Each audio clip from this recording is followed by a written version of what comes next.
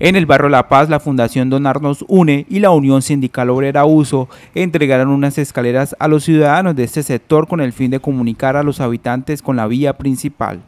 Fer Pacheco, representante de la Fundación, habló sobre esta entrega. Venimos a cumplirles el sueño hecho realidad a las personas de la comunidad del barrio La Paz, el acceso al barrio, las escaleras. Eh, vamos a seguir cumpliendo sueños acá en la Comuna 3 de Barranca Bermeja.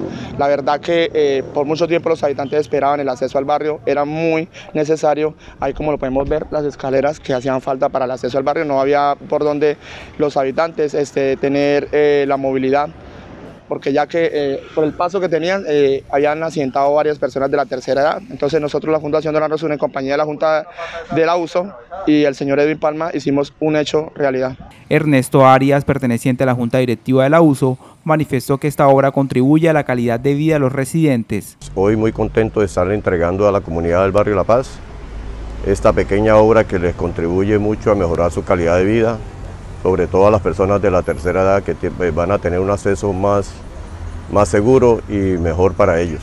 Carlos Hernández agradeció por el gesto realizado por estas dos entidades para el beneficio de esta comunidad. La gestión que se ha hecho aquí en el barrio con la comunidad, como hacían de falta esas escaleras, como bien saben las personas que han pasado por acá, la vía es un poco reducida y pues obviamente los transeúntes tenían que hacer una osadía para poder bajar hacia sus casas. Gracias a la gestión que hizo el amigo Fernando con los eh, dirigentes de la USO pudieron hacer posible esas escaleras para la comunidad. Ciudadano del barrio La Paz recibió esta obra con alegría por el acceso que permite el desplazamiento a la vía principal. Ahora la comunidad podrá desplazarse con mayor tranquilidad para llegar a sus viviendas por esta donación que ha realizado la Fundación y la USO al barrio La Paz.